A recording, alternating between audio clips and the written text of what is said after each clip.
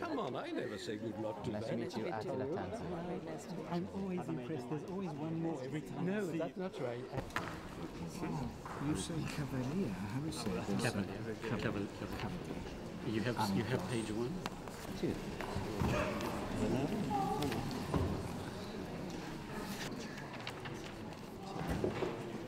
Oh, I need.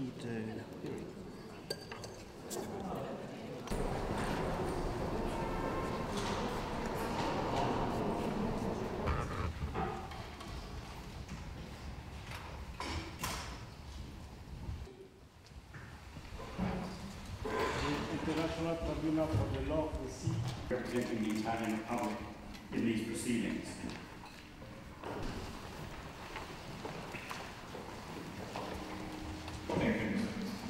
Italy respectfully requests the International Tribunal for the Law of the Sea to prescribe the following provisional measures that India shall refrain from taking or enforcing any judicial or administrative measures against Chief Master Surgeon Massimiliano Latorre and Surgeon Salvatore Girone in connection with the Enrica Lexie incident and from exercising any other form of jurisdiction over that incident.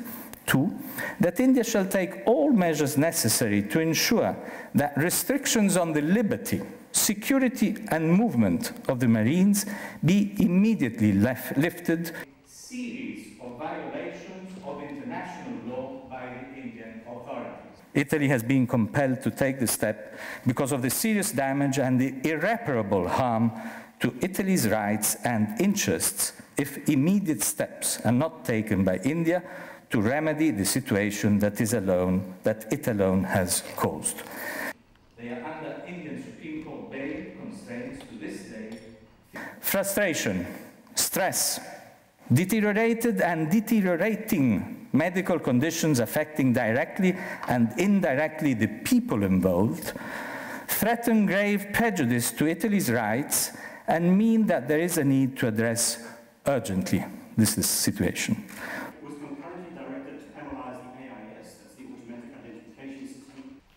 I don't propose to take you to this in any detail, but would invite you in your own time to have a look at paragraphs 3